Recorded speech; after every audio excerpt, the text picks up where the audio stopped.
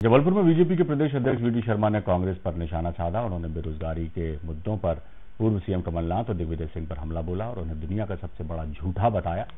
We D Sharma ने कहा, आज नौजवान इन दोनों से पूछ रहे हैं कि चुनाव से पहले कई बेरोजगारी भत्ता देने का वादा किया गया था, उसका क्या हुआ? कांग्रेस से लोग पूछ रहे हैं कि उनकी सरकार बनने से पहले चार हज़ार बेरोजगारी भत्ता देने का वादा मध्य प्रदेश के युवाओं से कमलनाथ था। मध्य प्रदेश के नौजवान पूछ रहे हैं, वो चार हज़ार कहाँ है? तो झूठ बोल करके राजनीति थोड़ी होती है। और ये दुनिया ये दुनिया के सबसे बड़े झूठे लोग हैं। ये दुनिया के सबसे बड़े झूठे लोग हैं।